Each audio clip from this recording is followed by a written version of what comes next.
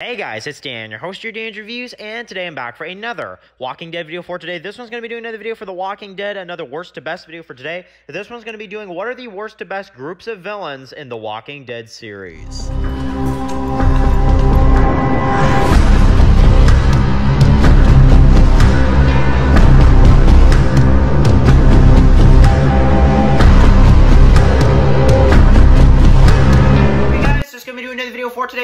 Going to be doing another Walking Dead video for today. This one is going to be doing another suggested video for today. This one's going to be doing what is the worst to best groups of villains in the Walking Dead series. So uh, this one was highly suggested. Some people uh, really wanted to see what are my worst to best, uh, you know, uh, villains group. Uh, what are my favorite to least favorite villains of the Walking Dead groups? Now, we've had a lot of villains. The Walking Dead have had a lot of villains. However, I'm really narrowing it down in this video to really just the forefront villains that made an impact. So if there's there's a villain that you don't see on this list or a villain that, you know, that's, you know, not included in this video at all, that is because it's not a villain group or a kind of a villain that stood out enough uh, for me to include them in this list. So we're really just including like main villain groups in this video. That is mainly what we're going to be doing. So uh, definitely really cool stuff, guys. And if you have any other kind of top 10 or worst to best suggestions, definitely let me know. But Aside from that, let's get into the videos. So, starting off with my least favorite villains. So, my least favorite group of villains is going to go to the hospital. So, um, I just don't like this group at all. Grady Memorial Hospital group, I mean, what a weird storyline this was. Um, honestly, and it's it's probably one of the most hated storylines The Walking Dead has ever done. Right up there with the Junkyard, right up there with, um, you know, parts of Oceanside at least, you know, with Swear and some of those episodes. Uh, but Grady Memorial, it's just, it's not a good location, and it's not a gr good group of villains. It's like they try to redeem Dawn, but then they try to make her a villain at the same time. And it's like they didn't know what to do with her, and they didn't know how to like play off her character and what she's supposed to come off as. So I'm just, I don't know. And then the whole thing with Beth, um, it's just weird. It's it's a really weird storyline. Dawn as a villain, I just don't understand. And honestly, I don't understand their logic either. Like you just capture people and then you make them do all this work for you. For what? The world is over. And I know Dawn's like delusional and she's just like, she's like, oh, well, this is going to be like some kind of like big, like, you know, oh, like the, the world's going to go back to how it was. Don't worry, Beth, you're here for a reason. Um, that's ridiculous, honestly. And, honestly, and she she knows it. it. It's ridiculous. It's just false hope. But yeah, anyway, that as a group of villains has to be my least favorite. I just don't understand what they were doing with that group, to be honest. Next up is going to be the Wolves. So uh, the Wolves is a very uh, interesting group. This was a group that was kind of built up for a little while during the second half of season five. Um, and basically in season six, they get kind of JSS. That is kind of their, their spotlight episode. But I am a little disappointed on how short their, you know, kind of time on the show was because they spent all this time building them up as villains, and then when they actually attack, yeah, it's great. It, like JSS, that Carol episode where she's going around killing all these like wolves, uh, that is one of the best episodes. But it's just that episode and then they're they're over like it, it's just weird so um, i do like the concept of the wolves i do but i think they were very short-lived and that's why i can't kind of you know put them any higher on the list uh, next up is going to be joe and the claimers so um, yes i do like the claimers more than the wolves Mainly because uh, Joe is an amazing character. I loved Joe as a character. I thought he was great. Um, the actor absolutely killed it. And honestly, um, that scene when Rick bites his like throat out, I just, man, su such a memorable moment. Um, and in particular, because that is the scene that just makes Rick completely lose his mind, um, you know, in that scene and just go at it, you know? And I think that they did make an impact mentally on Rick and Carl and Michonne and Daryl as well, too.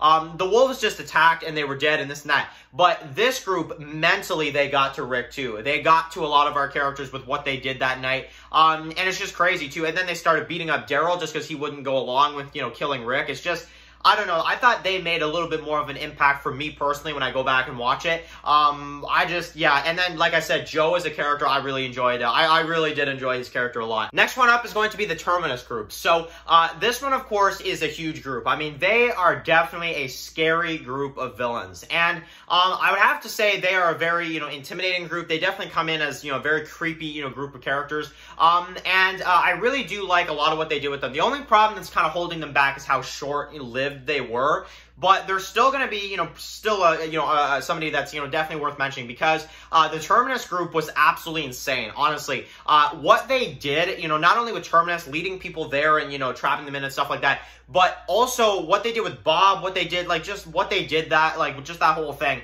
Um, and they would have done it to anybody, as they said to Rick. I just think they are, they have completely gone to somewhere else, like, mentally. And, um, it's just, I don't know, like, it, they're, they're crazy, honestly, and they're an absolutely amazing group of villains. Next up is going to be Negan and the Saviors. So, uh, I'm gonna put them still higher than uh, the Termites, just because, uh, I, I feel like with Negan and the Saviors, uh, there's just more of kind of, uh, they, they've been around for longer, and also Negan is, you know, just a, a, super fun villain. But I do have my problems with the Saviors as well, too, though. Uh, characters like Jared, Rapey Davy, uh, even Gavin at times, just some really weird characters in the Saviors group. And um, I just don't know how I feel about some of the characters and also just the amount of characters that are in the Saviors group. Um, it's just like the, the Saviors, like there's just like a lifetime supply of Saviors, seriously. Um, and I just don't understand what that is all about. But um, I still like Negan as a character and that's why I still am going to acknowledge it. But man, I mean, I really wish that the Saviors wouldn't have been so kind of like undefeatable and just a countless amount of people because after a while during season 8, it just got out of control. But um, I will definitely say one thing though, Negan, great character. I love Negan's character, but the Saviors as villains, and even Negan as a villain at times during the, the Savior arc, yeah, definitely kind of questionable. However, still a scary group, and the amount of like you know impact they had on Rick's group is why they're still going to be kind of high enough, uh, high enough, you know, in this list definitely. So yeah, and then number two is going to be uh, the Governor. So uh, the Governor is a really great, uh, a great villain. Uh, Woodbury and his group. Um, the reason why is mainly because of the Governor. The Governor is just such an insane villain. Um, he really just just does not care. He does not care. You mess with him, he he will kill you at some point. He will take you down. And honestly, the governor is just fully crazy, and he's the kind of villain we all enjoy because, um, honestly, uh, the governor is uh, a character that I know a lot of people said the governor went on too long in the show. Uh, I would more so say that about like Negan and the Savior storyline. I feel like the governor had a great amount of screen time in the show, and honestly, uh, his impact on the group is amazing. He has, you know, Merle as a lieutenant, which is insane.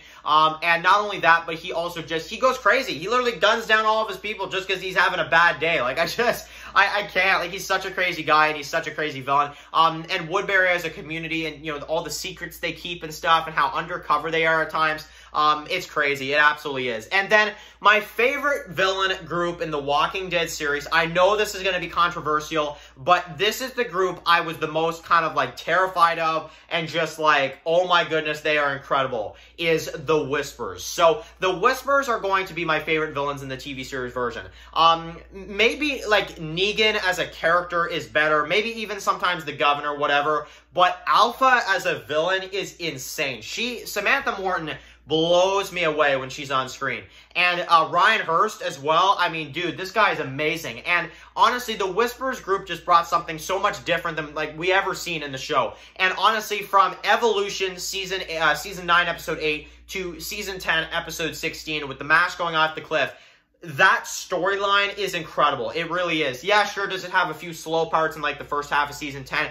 Sure, but it's still incredible. The way they do it, it's so great. Um, and honestly, Alpha as a villain is like something we've never seen before. And in my opinion, she just went above and beyond the comic version and she just knocked it out of the park, honestly. So, um, and they just, they're so creepy. They are so scary. And there are so many scenes of the Whispers that I can go back and watch and just get chills because they're just so amazing. They're such a great group of villains. And honestly, I, I am going to miss them in the show because they brought something different to the show that we've never seen. So anyway, that is my worst to best villains of the series. Yeah, definitely there's some like Shane or maybe some others that I've left out, but um, that is basically the list. That is the list, you know, kind of as a whole you know, what are my favorite villain groups? I'm going to say the Whispers, honestly, at least right now. Um, unless maybe they, they bring other Whispers in the additional episodes and then they kind of ruin the ending of the Whispers. Um, maybe it could influence it, maybe a bit, but I don't know. The Whispers were just absolutely incredible, uh, and they are, at this moment, my favorite villain The Walking Dead has done, and probably will ever, uh, you know, ever do, uh, at least depending on how uh, Season 11 goes. So, anyway, guys, thank you guys so much for watching this video. Write your comments in the comment section below. Let me know in the comment section below what is your favorite villain group. Thank you guys so much for watching this video. Write your comments in the comment section below. If you guys are new here, click the subscribe button so you don't miss any of my Walking Dead videos. Follow Dan's work, reviews on Instagram, guys, and of course, I'll see you guys really soon for another Walking Dead video. Enjoy the rest of your day, guys, and peace out.